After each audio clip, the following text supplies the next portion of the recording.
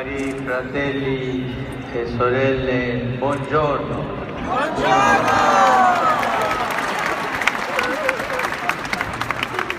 Nelle letture bibliche della liturgia d'oggi risuona per due volte la parola testimoni. La prima volta è sulle labbra di Pietro.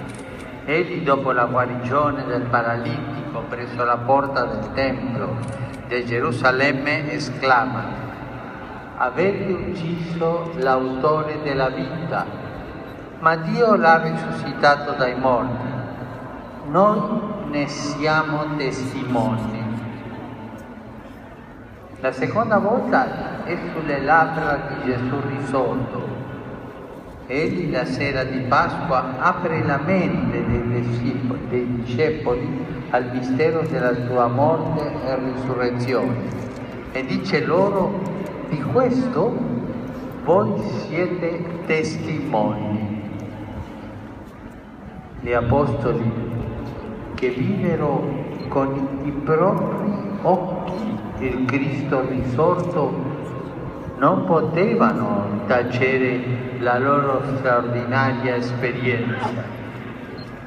Egli si era mostrato ad essi affinché la verità della sua risurrezione giungesse a tutti mediante la loro testimonianza.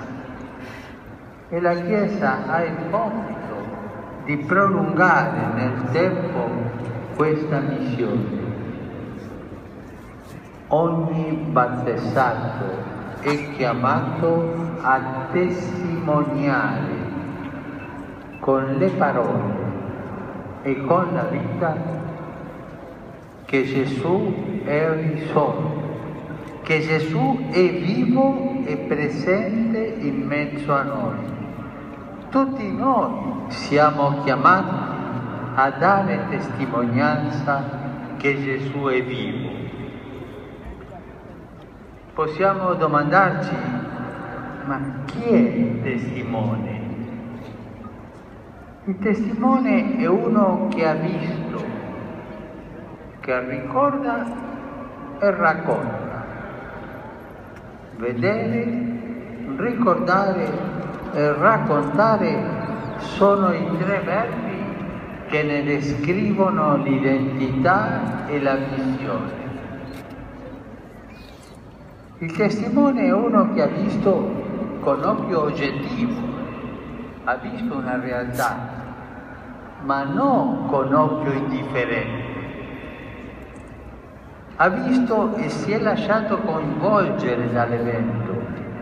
Per questo ricorda non solo per, perché sa ricostruire in modo preciso i fatti accaduti, ma anche perché quei fatti gli hanno parlato e lui ne ha colto il senso profondo.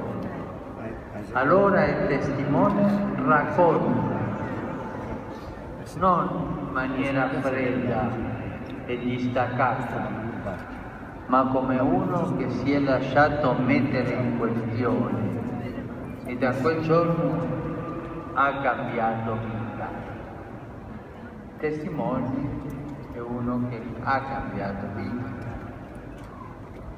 Il contenuto della testimonianza cristiana non è una teoria, non è un'ideologia o un complesso sistema di precetti e di leggi, oppure un moralismo, ma è un messaggio di salvezza, un evento concreto, anzi una persona, il Cristo risorto, vivente, è unico Salvatore di tutti.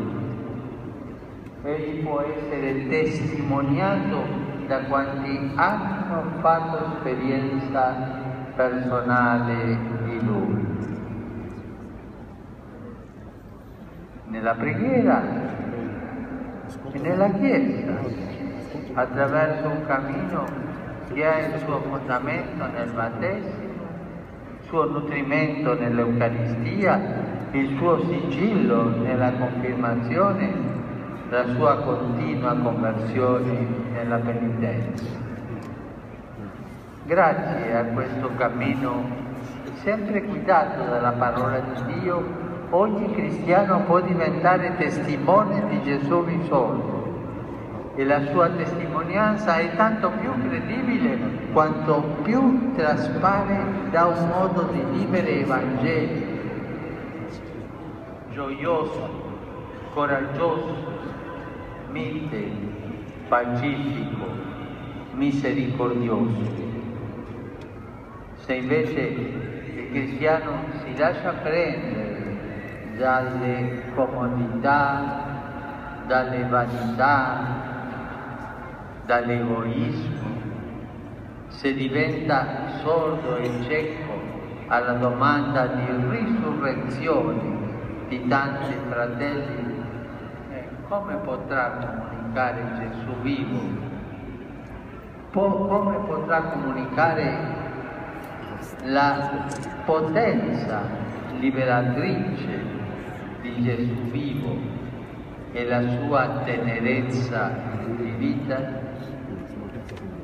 Maria, nostra Madre, ci sostenga con la sua intercessione affinché possiamo diventare, con i nostri limiti, ma con la grazia della fede, testimoni del Signore risorto